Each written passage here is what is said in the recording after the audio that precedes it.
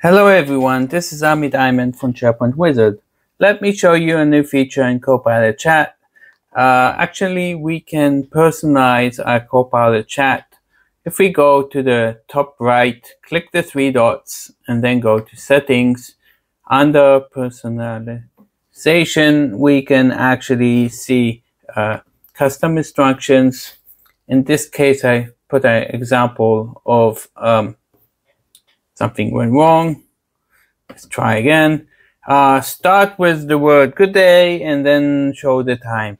You could write anything you want, but this is uh, the instructions that you can uh, write and you can be very creative. Second issue is actually that we can uh, go to Copilot memory. So it says when the chat, when you chat with Copilot, it will remember details and personalize your experience. You can also create memories by saying, remember, I was a conscious response. You will be able to review it, manage, and uh, set it here. So let's do uh, an example. So I'm here in the Copilot chat. I have work and web. And first thing I will ask, um, I will tell it uh, to remember to answer politely. So what will happen now, you see here we have a memory update.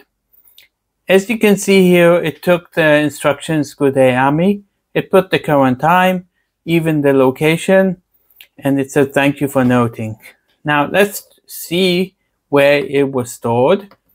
So now we see here the user prefers to be response polite and I can keep it, I can delete it, or I can do additional things.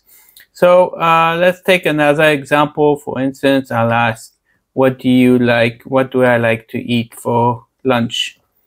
So let's put it here and let's ask a new question. And it probably won't know the answer.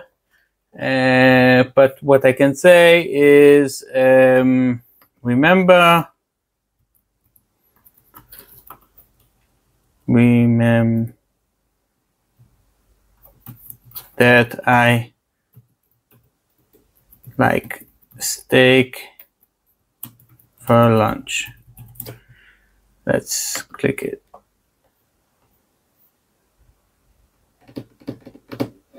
And it remembered it. And if we go here back, then actually we can see this was um, it remembers, I can ask it, what do I like for lunch?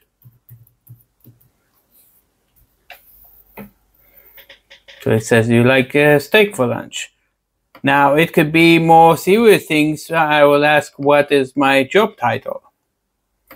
So that's, so you could, it can remember by yourself, but you can also teach it things.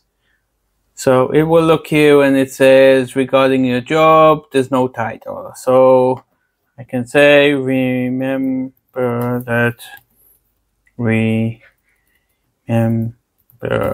that I am a M365 adoption lead in Cloud Edge.